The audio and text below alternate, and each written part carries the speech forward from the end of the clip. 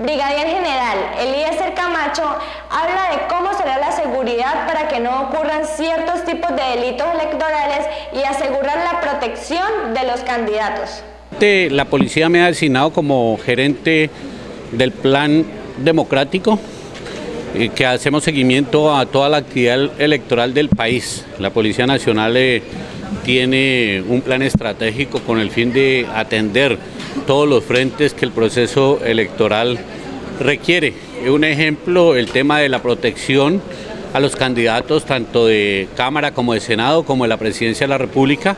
En algunos casos eh, la Unidad Nacional de Protección es la encargada de esta, de esta protección, pero nosotros apoyamos con los enlaces, con las actividades políticas en plaza pública, con las unidades de policía y en otros casos pues los esquemas son totalmente de policía, pero es un trabajo coordinado, mancomunado, con el fin de que tanto a nuestros candidatos eh, de todos los partidos políticos no van a sufrir una, afectación, pero que tampoco las sedes políticas, las instalaciones, los vehículos y las personas que los protegen. Esa es una de las misiones grandes que tenemos en este proceso electoral, la protección de estas personas.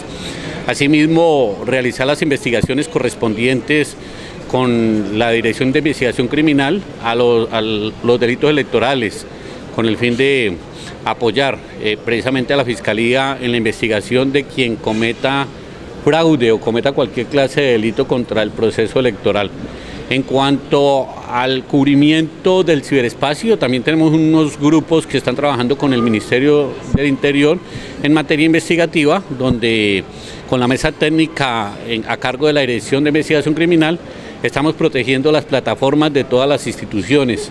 que está participando en el proceso electoral y cuando se detecta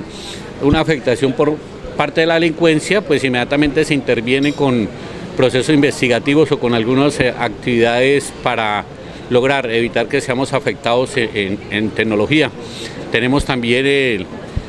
el traslado del material electoral hacia los diferentes departamentos, también por parte de nuestra Dirección de Tránsito y Transporte,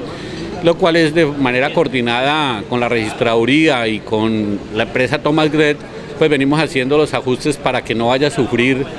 ningún, eh, ningún percance este material. Esa es la actividad que estamos cumpliendo. El día de hoy pues estábamos con el señor registrador eh, nacional y con el Procurador General de la Nación eh, cumpliendo esa actividad de venir a informar a Norte de Santander las actividades que se están cumpliendo desde el nivel central, desde el nivel nacional, para que los ciudadanos eh, tengan confianza que va a ser un proceso claro, transparente y acompañado por parte